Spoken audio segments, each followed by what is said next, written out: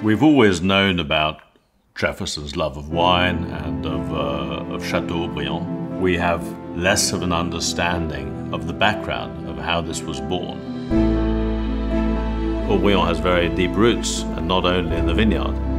I don't care if we only produce one bottle of wine, but that one bottle of wine has to be exceptional.